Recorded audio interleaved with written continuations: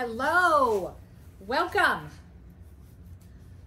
My name is Shannon Stefanacci, and I am with Pickin' Boots Vintage in sunny Southwest Florida. And I'm here today on the Decoupage Queen Instagram page, and we are going to do a fun project.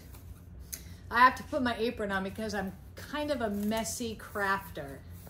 So I want to say thank you for joining me. Um, today we're going to be using the size A1 paper, and this is Abandoned. This is one of my favorite of all the decoupage queen papers, probably because one of my favorite colors is rust. So um, if you have any questions, please put them in. I will try to answer them. Uh, if I can see it, I will definitely answer it. So basically what we're gonna do today is I have this old window. Hey Judy. so I have this window, I've already prepped it, I've cleaned it, and I've already put a coat of paint on it just because we're gonna put something else on top and I wanted to save a little bit of time. So first thing we're gonna do is we're gonna flip the window over so it's backwards and I'm gonna turn it this way. It's gonna be sideways, but it'll fit better in the camera angle. Next, we are going to put on this beautiful, beautiful paper that I love so much. And we are going to put it face down. Now, generally, when you're putting paper in a window, you can either put it face down or face up, depending on what your end goal is. Now, if this paper was smaller than my window, I'd probably want to put it on the front. That way I could blend paint in on the sides. But since it fits perfectly in there, I'm going to do it on the back.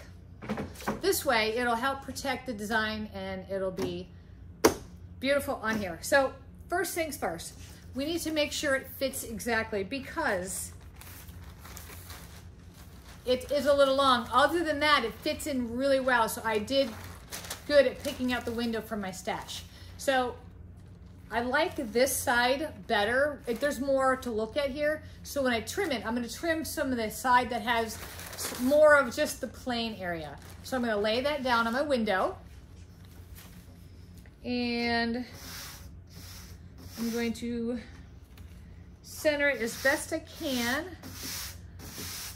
Now what I'm gonna do is I'm just gonna turn this this way and I'm just going to use my finger and I'm gonna give it a little crease. Now I wanna do that because if I put the crease on this paper, I'll know exactly where I need to cut. So I'm gonna put it right there.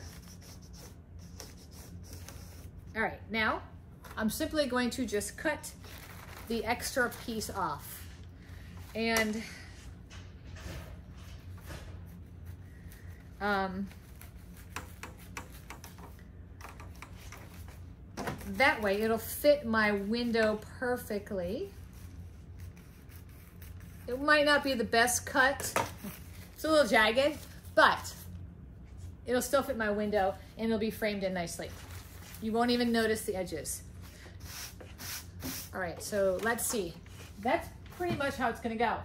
But don't think that that's all we're doing. We're gonna be doing some more fun things to make this a beautiful work of art for your wall. I've done several windows with decoupage paper and there's so many different ways and so many different things you can add for detail. So first things first, let's go ahead and get this started. Now this is the size A1 rice paper. Now rice paper is nice because there's less wrinkles. And I'm putting it on today with the Pentart. I'm using the Decoupage Varnish and Glue by Pentart. Um, you can use, there's all different kind of mediums you can use. There's Mod Podge, there's Clear Coat, and um,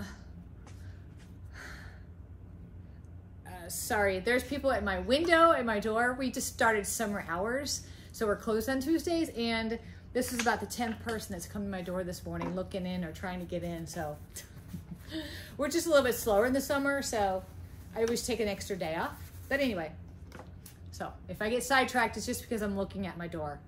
Um, anyway, I'm using the Decoupage Varnish and Glue by Pentart and in the matte. Now I'm going to apply it to my window and I know people are going to say, well, won't you see it? Once it dries, you will not see it. I've already cleaned the window with Windex. It's dried, it's ready to go. So what I'm gonna do is I'm just gonna start here at the top and then I'm gonna work my way down because I wanna make sure when I put it down, I put it down nice and flat and even. So I'm just going to go put a nice even coat, making sure I get all the edges. Now there are other ways to put decoupage paper on. For instance, you can put your medium on, let it dry, then put your paper on and iron it. That's one way. And I like this way though.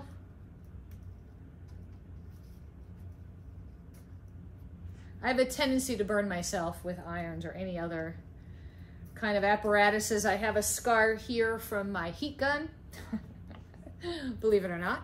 All right, so we're gonna start. I'm gonna put it here.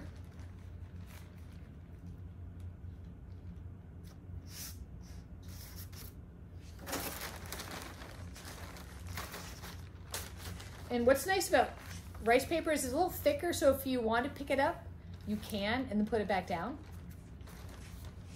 Whoops. Probably shouldn't have done that. I just wanted to show you, but let's do that again. We'll line it back up. There we go.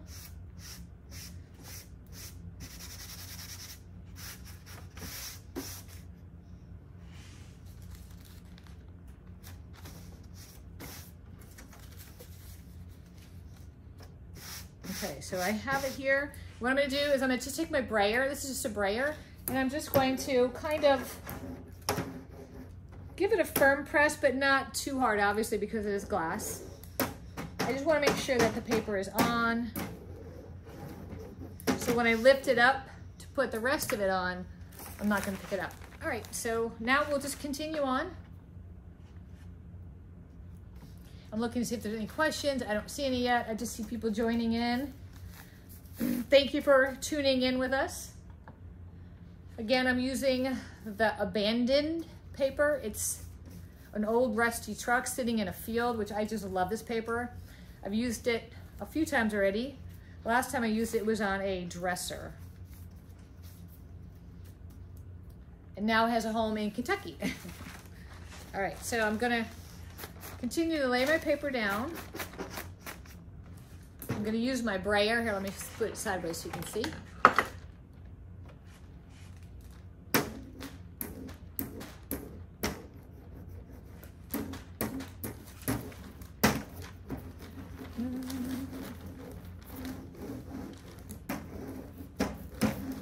Okay, so now we're going to go back and we're going to just do the rest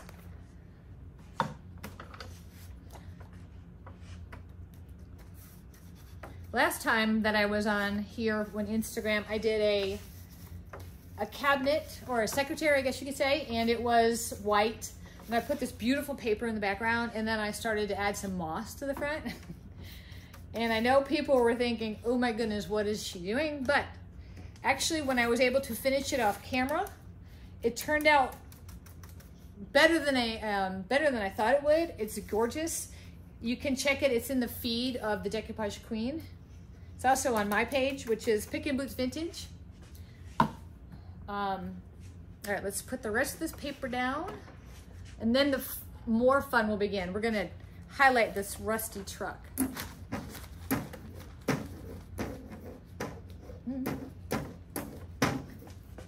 Decoupage paper is really fun to do. It adds so much to whatever you're working on. And sometimes you may not want the full design. Like I could have cut the truck out and just used the truck, but I love everything about this. I love that it's in a field. Now, because it's on the back of a window, I really don't need to go ahead and seal it because generally when I do a window, I just cover it with paper, put some hooks on it so we can go on the wall. But for right now, we're gonna let this dry. I'm gonna flip it over and I'm gonna show you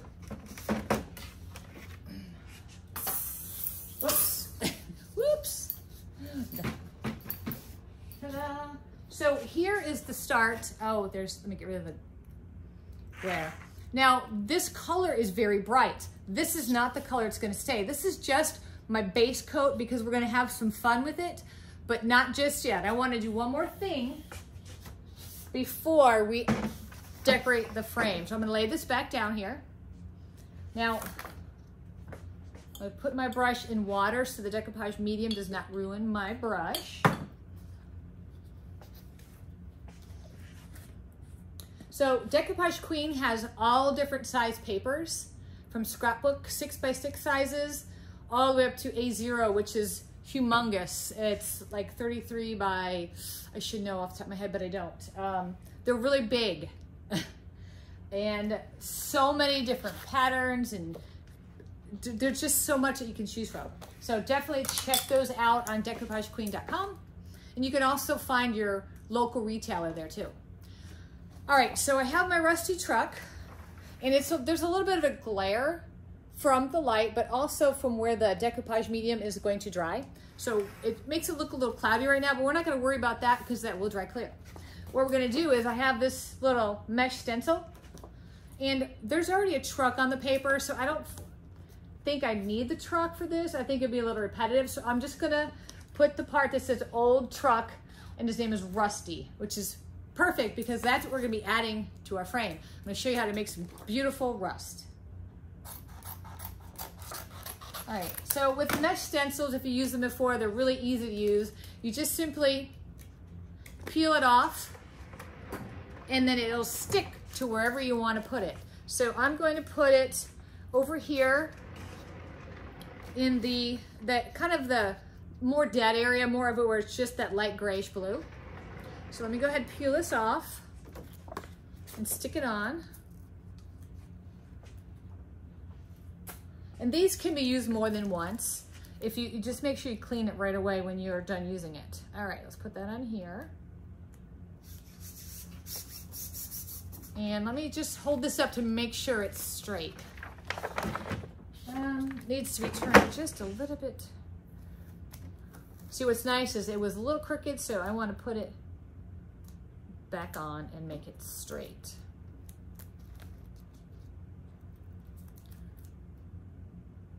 All right. Okay, I want to make sure I give it a nice firm push. It is a mesh stencil, so they really don't bleed. I just want to make sure by putting some pressure on it. All right, so what I'm going to use, I'm just going to use some chalk art.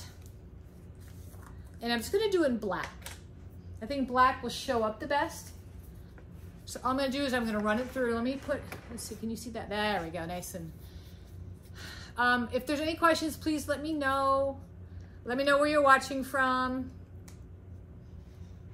All right, so I put a little bit on here and I'm just going to basically run it through my stencil. I'm just gonna apply pressure, drag it over making sure that I don't have any part of the stencil that doesn't have any of this chalk art. All right, I'm just gonna wipe a little bit of the extra off of here. And I'm gonna go back and I make sure that there's an even layer on here. There we go. All right, so let's do the reveal. But for the reveal, I'm gonna stand it up so you can definitely see it better this way. So here it is. Um, okay, let's keep our fingers crossed that the design came out perfect. Yay. There we go. So it says, can you see that okay? I know it's a little blurry. Old truck and his name is Rusty, so it's perfect.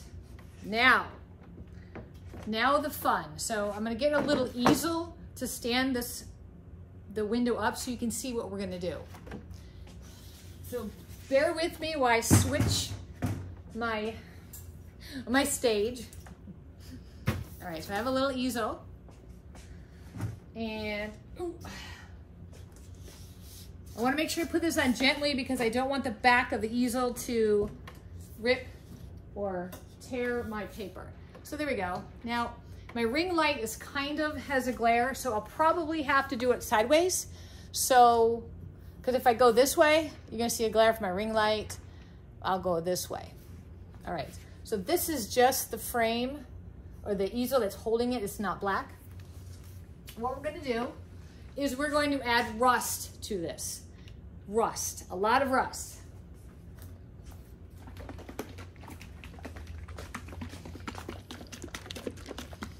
All right, so this is a product that has little pieces of flecks of metal already in here. So I'm gonna put it on and then I use a spray and then it uh, forms a chemical reaction. I don't wanna put it everywhere. I just wanna put it in some areas.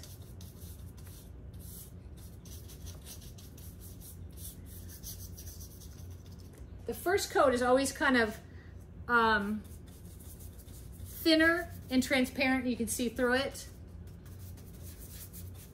Now, last time I did a live, I went back to look at the questions and I couldn't see them because for some reason Instagram doesn't have a place to see the comments. So if you have a question that I don't see and I don't answer it, please write it in the comments of the video once it's posted as not a live, but as an actual video.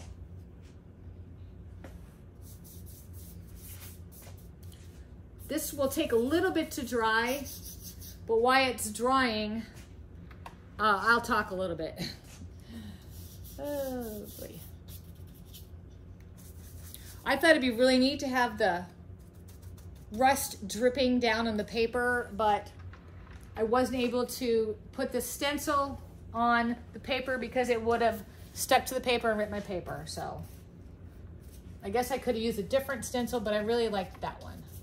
So the good news about this paint is it doesn't have to be 100% dry for it to work.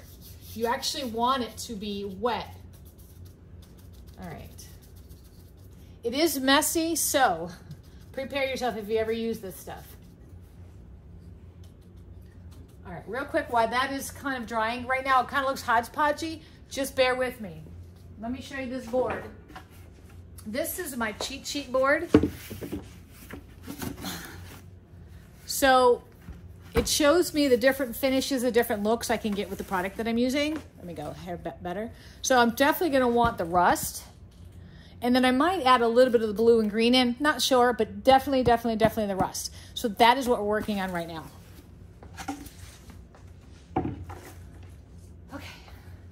So to get the rust, what we're gonna do is we're gonna spray it with this magic spray. It's called Green Patina. And it works the best when it's wet. Well, it only works when the paint is wet.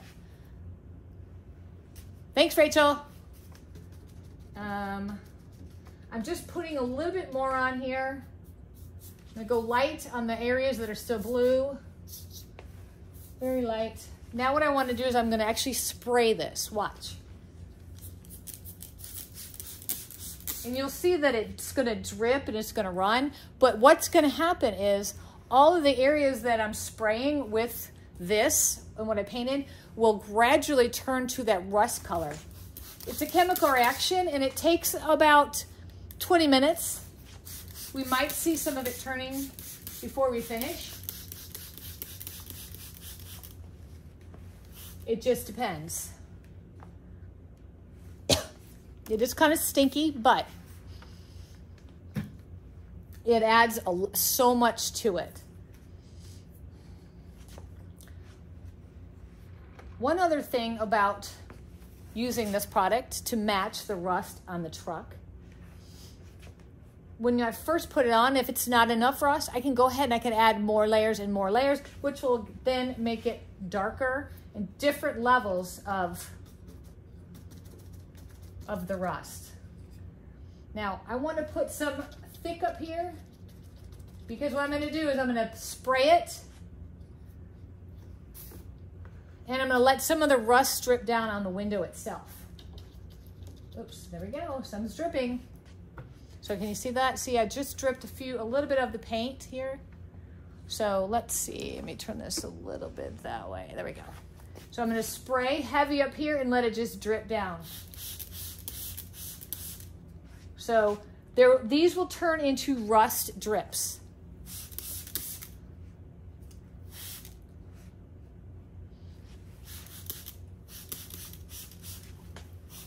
I really wish this activation happened faster. Okay, let me see if I can get myself on this now. I wish that it activated a little bit faster, but it is a chemical reaction. It does take a little bit of time, but there is little flecks of metal in here. Woo! There's ammonia or something in there. It's a little bit pungent, but it is worth every bit of it. I'm going to add a little bit more up here. The nice thing about it is you can just keep adding if you want especially because you don't want to see brush strokes. So when I add, always make sure you go back and add a little bit of spray. Now, for this to fully chemical react and get that rust, it's going to take up to two hours. So what I'll definitely do is I will be taking some beautiful photos of it hanging on the wall with the rust dripping on it so you can see exactly how it turns out. Um, let's see. I This looks a little brush strokey to me, so I'm going to change that.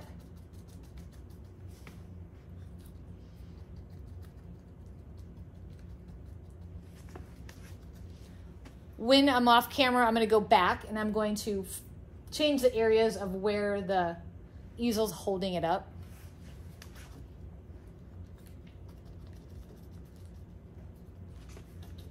I want some of the blue to show through so it looks like it's part of part of what the original sign or window looked like. I do want to mention, if you guys are working with old windows, keep in mind that some of them may have lead paint on them. So make sure you, if you're cleaning them or if you're sanding them, wear a mask and definitely do it outside. Or you can always test it with a, um, a testing kit you can get at Home Depot and see. Lead, lead paint can be unhealthy. Okay, so you know what? I feel like I need a little drip up here, so I'm gonna do that real quick. Oops, you couldn't see that. Yeah, right here, on this side. It's backwards. Hmm. There we go. Zoom that out. So I'm gonna put a little bit of a drip there.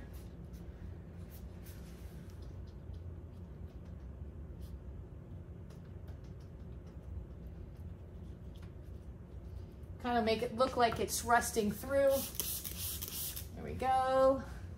And a little bit more over here.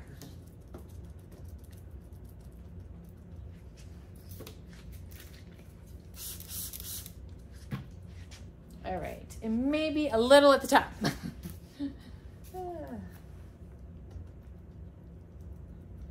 I don't want it to look forced, so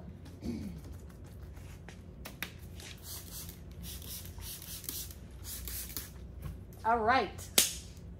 Now, this will dry. And this will all, all this where I put this gray, this iron color, will be rust.